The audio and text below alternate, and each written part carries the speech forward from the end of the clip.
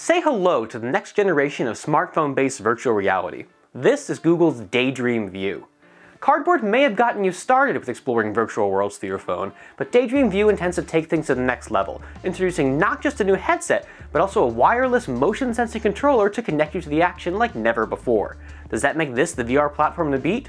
I'm Stephen Schenck with Phone Arena, showing you exactly what you can expect from Google's next-gen VR effort with my Google Daydream View review.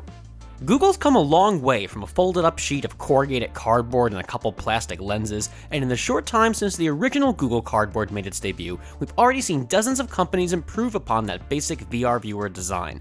Some stick with the core cardboard blueprint, but deliver upgrades in the form of improved headset materials or higher quality optics. Other companies, like Samsung, have gone off on their own, creating all new VR viewer hardware incorporating advanced sensor tech and introducing new ways to interact with software. Having seen all that hardware hardware evolve, we've been understandably curious to learn how all this momentum would affect Google. Would it try to one-up Samsung with a super high-end headset of its own, or would Daydream be a more cardboard-style VR for the masses? In truth, it lands somewhere between those two extremes, but before we can tell the whole Daydream story, we've got to look at the hardware. The Daydream View headset is one of the oddest looking VR viewers we've ever come across. Instead of inexpensive cardboard or rigid precision molded plastic, the headset is covered in soft, welcoming fabric. It feels more like a well-worn favorite t-shirt than your ticket to advanced virtual worlds. While cardboard often found users manually holding their viewers to their heads, Daydream thankfully arrives with a strap so you can actually wear the headset. Instead of something like Velcro to secure it, Google uses a pair of adjustable sliders. Getting the right fit is a small process of trial and error, but it's easy enough to keep tweaking, and you should find a secure, comfortable position easily enough.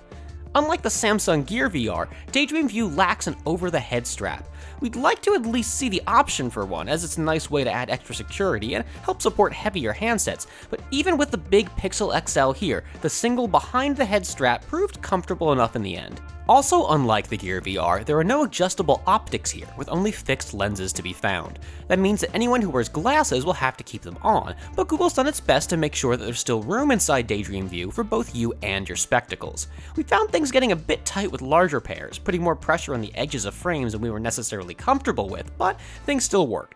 To get started using a compatible phone with Daydream, you'll need the corresponding Daydream app on your handset. Then it's just a matter of strapping the phone in Daydream View's fold-out phone caddy. The bottom's spring-loaded and the top secures with an elastic band, and while the whole setup looks incredibly simple, we can't deny that it's quite functional. While the Daydream View headset may not be super high-tech on its own, it does have a few tricks up its sleeve. One of the coolest is a pair of capacitive nubs that lets software know where the center of the viewer is, so it can automatically center screen output to a line. There's no more trial and error guesswork to get your phone positioned just right. An embedded NFC chip in the headset also lets the phone know when it's inserted, so it can automatically fire up the Daydream app hub. Once you've been wearing Daydream for a while and maybe working up a sweat playing some immersive 3D games, cleaning the handset is streamlined thanks to an eye insert that peels right on out. While Daydream View's largely well built, it does feel a bit basic, and in addition to the issues we've already mentioned, you'll notice a fair amount of light leakage with no real seal existing between the phone's edges and Daydream's lenses.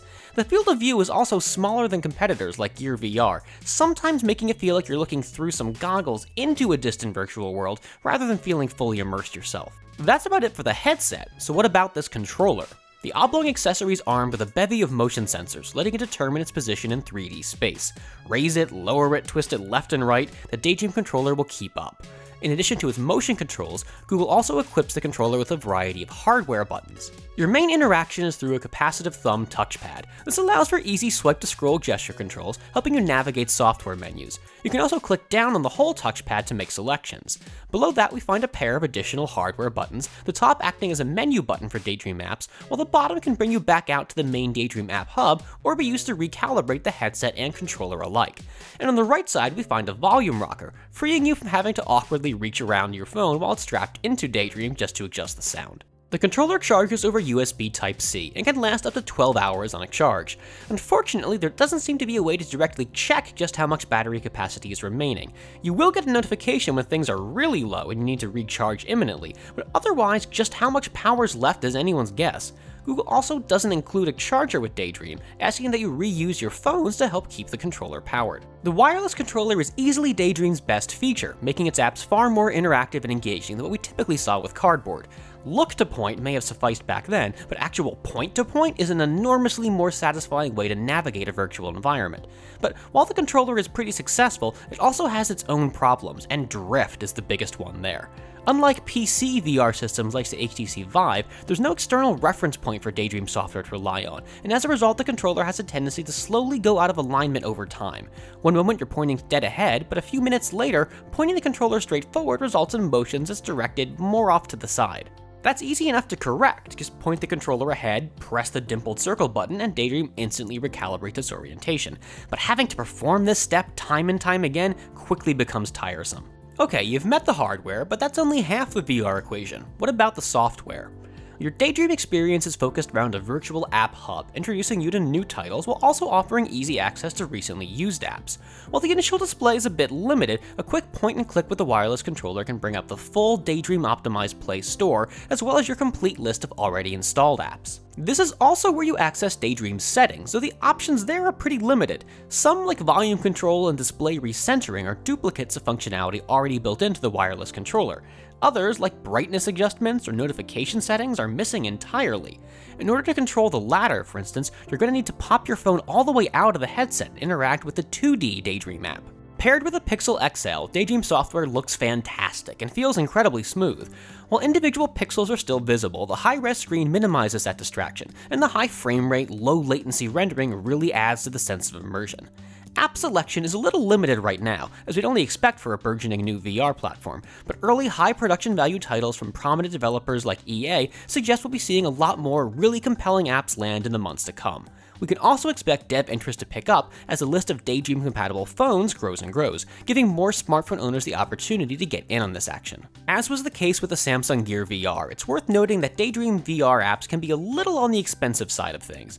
That makes sense both due to the more limited audience compared to traditional apps, as well as the technical demands of developing for a VR platform. Just don't be surprised to find yourself paying 5, 10, or even $15 for popular titles. So what's the verdict here? Well, Daydream is still in its infancy, but if you've got a Pixel or a Moto Droid Z series phone, you can get in on the ground floor. And there's a lot to like right now, from games and educational titles to the fun of exploring Google Street View in first person.